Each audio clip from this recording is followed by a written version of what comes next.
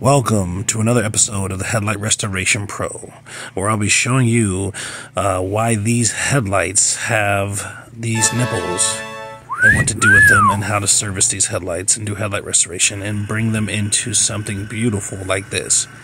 Brand new, crystal clear, perfection. Perfect. Better than the day they rolled off the lot. Stay tuned. The Headlight Restoration Pro.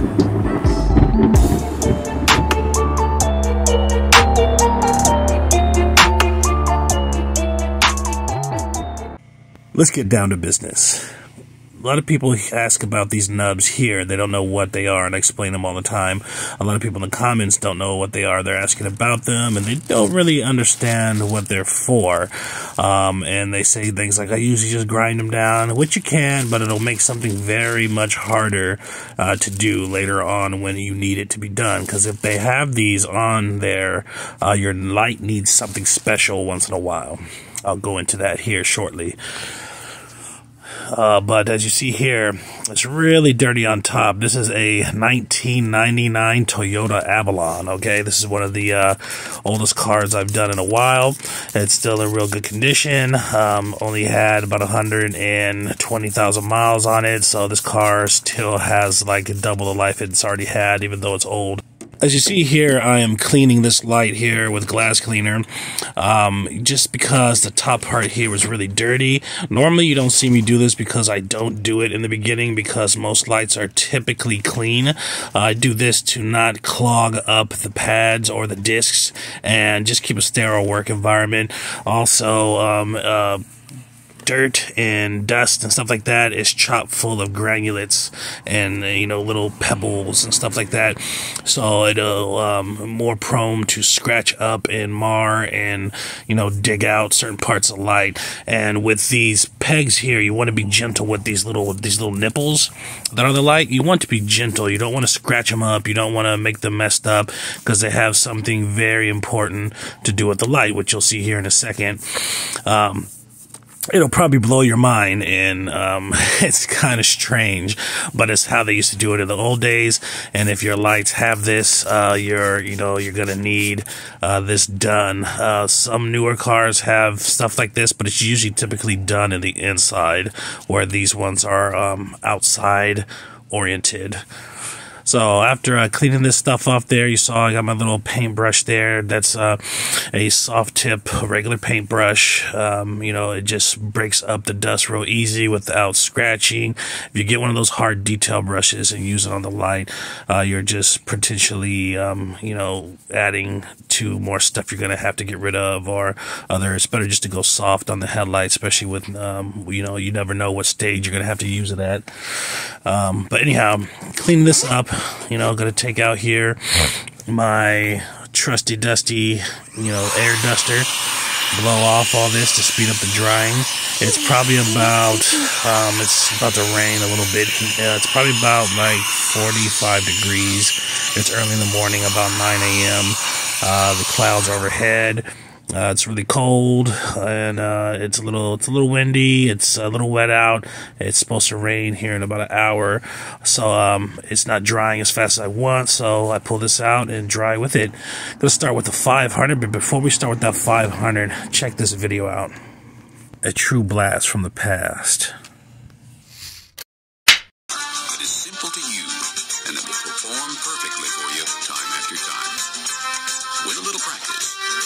Soon learn that aligning headlamps is as simple as turning two screws. You'll find everything you need in the kit itself, including two aiming units, all the proper adapters, extension rings, even an Allen wrench for calibrating.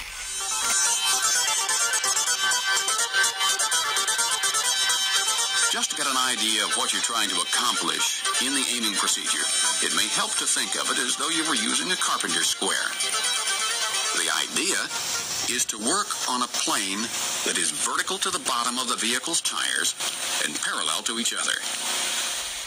The adapters snap easily into place when they're properly positioned. You'll find adapters for circular or rectangular, two or four lamp systems, and for mini quad headlamps. Again, the instruction manual will show you which adapter to use and whether you'll need to use the vacuum extension plate assembly. For aerodynamic lamps, the numbers used to set the rods on the universal adapter to the proper horizontal and vertical settings are found on the face of the lamp. For demonstration purposes, we'll be aiming a standard rectangular two-lamp system, so we'll use the large black adjustable adapter. First, we'll adjust the rods on the adapter to the zero setting. Now, put the adapter on the aimer with the single rod at the top. With the adjusting rod set on the proper number, you're ready to attach the aimers to each headlamp. Remember that Unit A must be used on the driver's side of the vehicle and Unit B on the passenger side. The yellow targets of each aimer must face toward each other. Holding the aimer in your left hand, rest the adapter pads on the headlamp aiming pads. Then, push the white piston handle with the right hand until the suction cup engages the headlamp. Then, quickly pull the piston handle back until it locks in place. Attach both aimers in the same manner. Now we're ready to adjust the horizontal and vertical aim of each headlamp. Headlamp alignment is an important safety factor, and you are providing a valuable service. In addition, it is a profitable service when merchandise well, there you have it. That's why you have these headlight nipples here. Um, the device actually suctions onto them, or better yet, uh, uses them as a guide and then suctions onto um, this headlight surface. Now, there's other devices. That was just one, uh, particularly from the uh, one of the companies there that was stated. Um, but there's other companies that make them, but they're they're roughly the same thing, just kind of like uh, different uh, power tool manufacturers or drill manufacturers. And, you know, they're pretty much the same thing. They're just made by different people. And that's what they're for with these lights. Uh, these lights go out of calibration. Uh, quite easy uh, if you're roughing your vehicle or just uh, time and weather. They go out of calibration. You have to calibrate them so they point down or so they point correctly so you can see correctly at night. Um, it is uh, very interesting, I think, uh, how technology changes. As you see, that was a very old video, probably from uh, mid 80s, if not earlier. Um, these lights have been like this uh, since the 70s, uh, all the way up to like, um, I don't know, maybe a couple manufacturers still dealing with them around mid 90s. Um, but yeah, that's what the deal is. That's why you don't want to grind these off, and that's why um, you you want to be gentle with them, and you want to just you know um, not uh, really rough them up. As you see, I start with the fresh pad and I go around them before I do anything else because I don't want to spend too much time there. I don't want to grind them down. I don't want to change the shape of them. I don't want to make them smaller because the devices are going to have to sit on them. I'm not sure how many mechanics actually still use these devices. I would think um, uh, some of them probably should because technically it's the um, proper way to do it. You can align them without um, using a device. It's more of a manual process. What you would have to do is pretty much park in front of something, uh, have some set um, fixtures on the wall. I don't know, stickers or uh, tape or something, and you would have to kind of manually manually align them by hand, which um, will not be as precise no matter what you do. Uh, will not come out as precise as using the actual calibration device kind of think along the lines of if you know anything about um, uh, torquing down nuts or something like that, or torquing down a um, lug nut or something. You can do it without, but you have no idea if you're too tight or if you're too loose or if it's correct. But when you have an actual torque wrench that tells you uh, how much pressure are you set it at how much pressure, you know exactly um, that they are done correctly. Um, with this, it's a little more important because um, uh, they're both important, but this one has to do with night visibility, which is uh, very important. Uh, it's one of the most important things on the vehicle um, far as night driving. I thought this one uh, was going to be an interesting video. I wanted to uh, hold off for a little bit, but I just couldn't just because it's such an interesting topic, why these things exist. I deal with them all the time, and they used to um, bug me. I'm like, what are these things? They used to eat up my pads and eat up my discs, and I used to just like, let me just leave them alone just in case. I have no idea what these are. And about a year into uh, doing this, I decided to do research on it and uh, found out this is what they are. And, um, you know, the slang term is um, nipples. I like to call them nipples or nubs, um, but they're actually called uh, calibration docks or something like that, something or other. But uh, nipples is just more memorable or memorable, you know everybody can remember headlight nipples or nubs, you know. I don't want to go too technical with some stuff, but it does have a technical name to it. I believe they're called uh, aiming docks or aiming pads or something like that. Let me pull this up here. There you go. They are called uh, headlight aiming pads. Uh, let's read this here. This is from Google. The nipples are used for aiming the headlights. Those nipples are properly called headlight aiming pads and headlights which have them are mechanically aimable headlamps.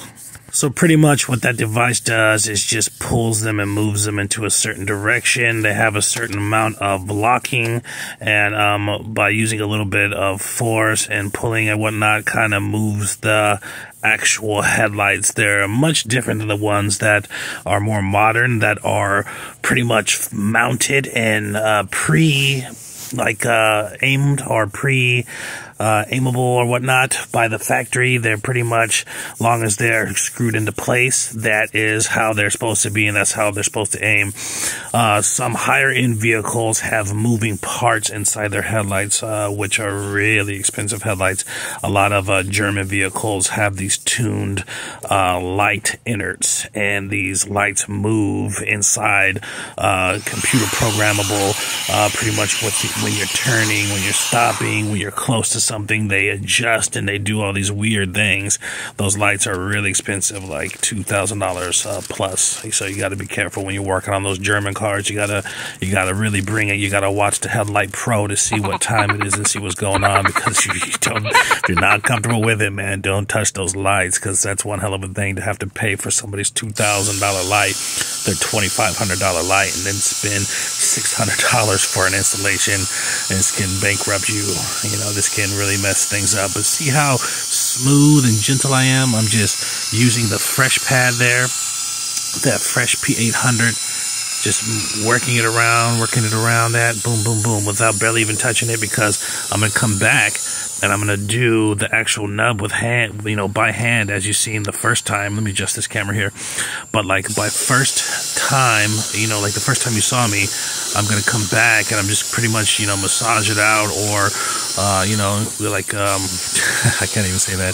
I was going to say like, you know, you do it your lady or whatnot, but, um, massage it out and you know just twist it and twist it and you know it doesn't take much it's such a small surface and it's uh, generally there's not much uh, tarnish or there's not much um, oxidation or even clear coat material left on the nubs. It's probably the first place that it goes away. So you don't have to work too hard at it. You know, you can do them real easy by hand and touch up the areas, uh, you know, around it by hand. But uh, once you get those out the way, then you go ahead and clear out the rest of the headlight here. Uh, this headlight is so old and it has never been uh, restored before, as you see. Um, it, it's so old, 1999, and it has never had a headlight restoration before. I can tell. I know the difference between a uh, virgin light or a light that's been done numerous times or a light that's just been done one time. Um, I've um, been, you know, not so much that I've done so much, what is part of it, but I really examine and I really pay attention to detail and I really educate myself. And um, I always do an inspection before I, you know, a visual inspection and physical inspection before I even get into the headlight. So I know what I'm getting into and so that I know if there's something wrong that I need to tell them or something I need to watch out for and that I know if it's been touched before, if somebody else has done anything to it before and what have they done. So, with that being said, um, yeah, you just got to uh, be careful with these nubs because as you see those machines sit on those uh, little pegs or whatnot, if you grind those down, you're not going to be able to do that uh, calibration with these lights. It's not going to work. You're not going to know where to put that device, even though you can, you might be able to see where the nubs are.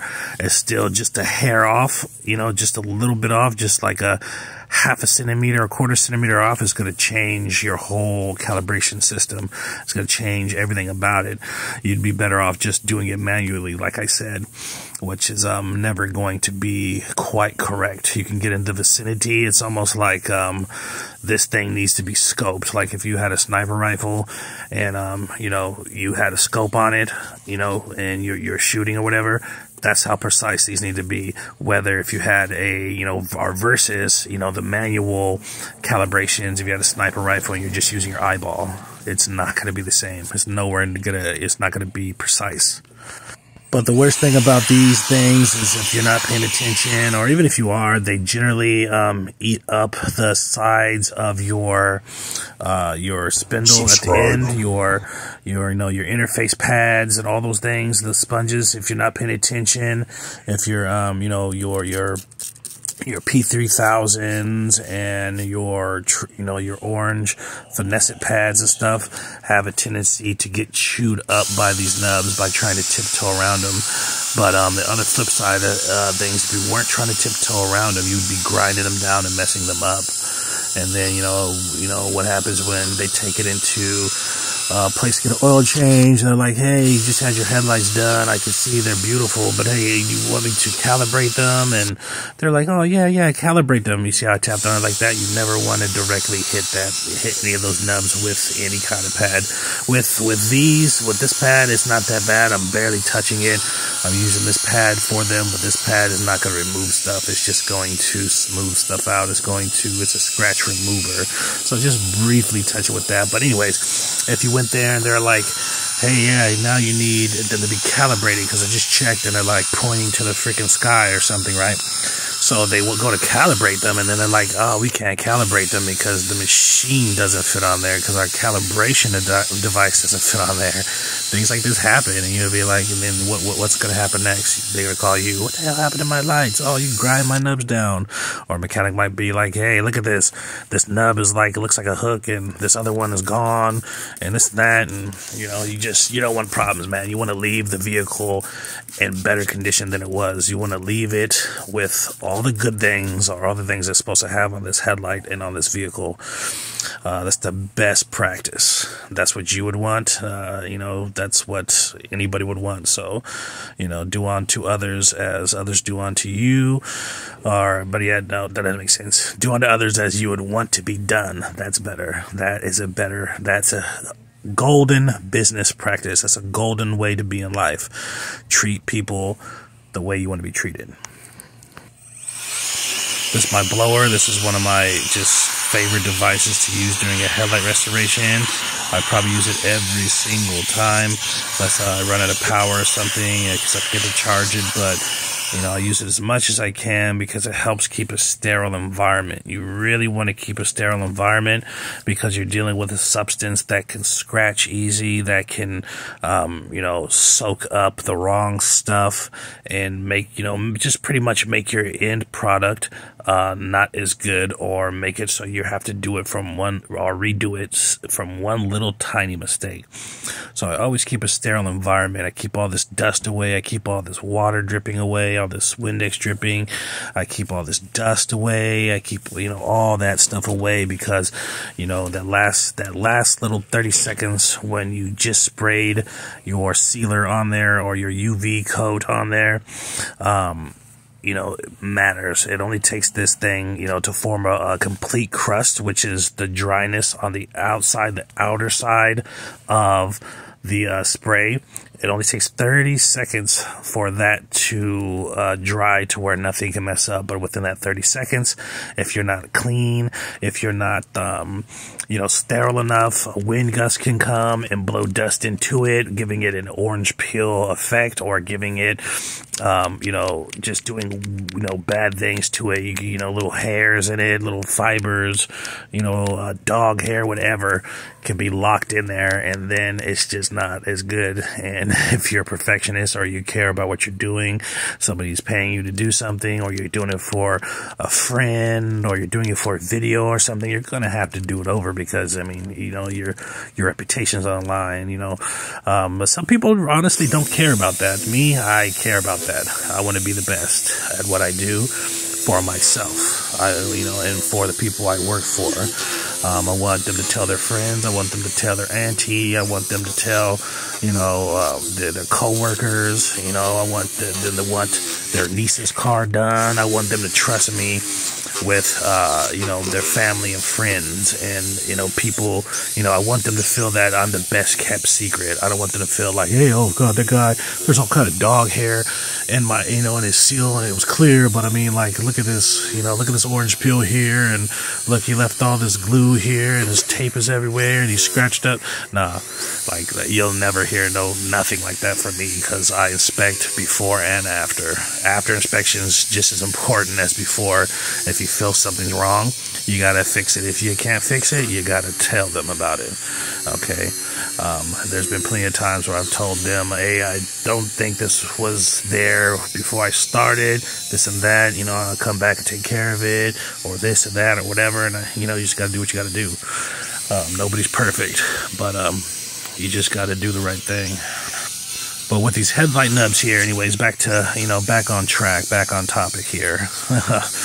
um, these headlight headlight nubs here, you got to be real careful. I'm kind of going fast. You should probably go slower unless you're um, skilled with this.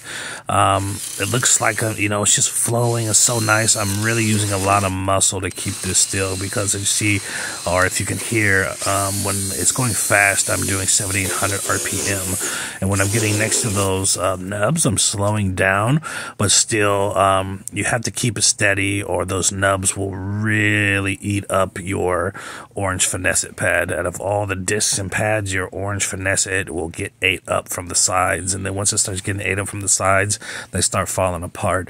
So what I do is I make sure I use an older one on them because the older ones start getting rounded and tougher edges. If you use the new ones that are really thick, like an inch thick, half an inch thick, they'll really eat them up. But with this video, I just wanted to shed a little insight on these because uh, a lot of people don't know what these are, uh, especially with the new generations or just anybody who's not a mechanic or something, a real mechanically, mechanically inclined will not know. I mean, I was a headlight specialist for a year before I knew what these were, and I, I had done probably 30 of these things, you know, before I understood or knew what they were and just kept nagging me. One day I just said, I'm going to find out about these things. I keep getting these things. I have to find out about these things to be what I am.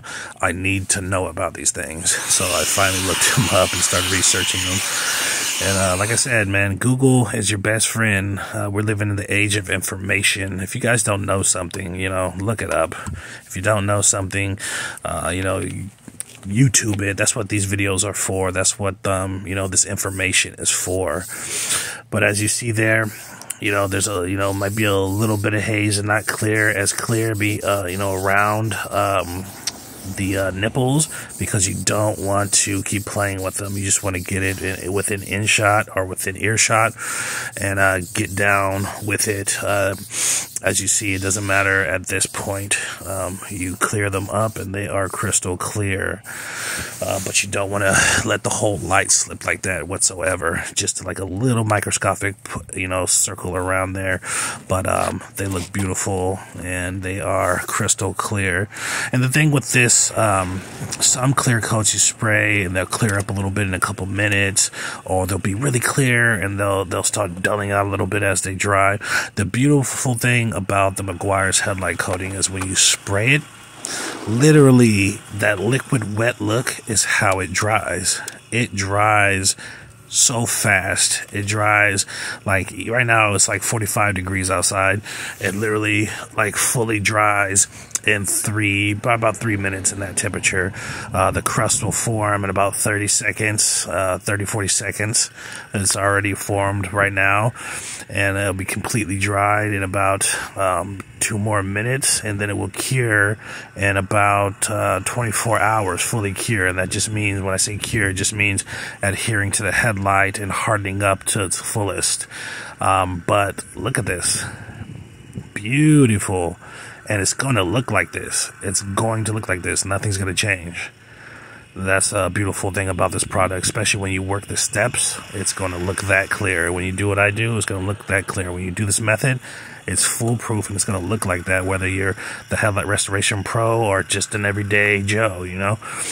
Uh, but uh, tip, pro tip, as you just saw there, uh, the light. Look at that. Look at that other light when it's cold Damn, outside, son. you gotta give the light a couple feet with the cooling fans, or I mean, with the um, forced air fans, because the cooling effect uh, is a little bit too much. You don't want to get them cold. You just want the air to hit them. All right, we're gonna wrap that up, and uh, stay tuned for the next one. Please subscribe. Thank you for watching. The Headlight Restoration Pro.